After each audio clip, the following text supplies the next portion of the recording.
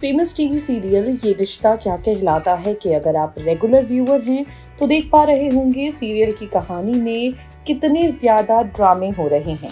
अगर आप इस शो के रेगुलर व्यूअर हैं तो देख रहे होंगे किस तरह से सीरियल में अभीरा घर छोड़कर जा चुकी है और पुदार परिवार, रूही और अरमान की दूसरी शादी करवाने की कोशिश कर रहा है। अब इन सबके बीच आपको बता दें अभीरा पोदार हाउस से गई तो है, लेकिन अब आगे आने वाले एपिसोड में ये अभीरा पोदार हाउस में वापस आने भी वाली है। और जानते हैं कैसे?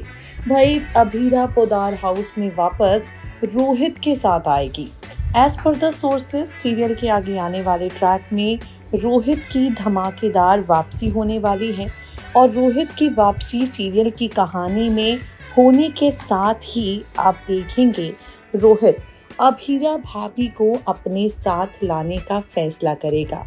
भाई रोहित जानता है जो कुछ भी हुआ उसमें अभीरा की नहीं बल्कि रूही और अरमान की गलती है क्योंकि इन दोनों ने अपने रिश्ते का सच सबसे छिपाया। ऐसे में रोहित चाहेगा कि अभीरा भाभी को इसकी सजा ना मिले। इसकी सजा ना मिले इसलिए रोहित करने वाला है फैसला और अभीरा को लेकर पोदार हाउस वापस आएगा।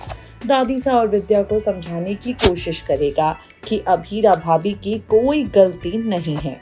अब देखना होगा, रोहित जो उसी आग में जला है जिसमें आज अभीरा जल रही है। रोहित जो अभीरा का असली हमदर्द है वो अभीना का दर्द बांटकर परिवार के लोगों को एक बार फिर उसके करीब ला पाता है या नहीं।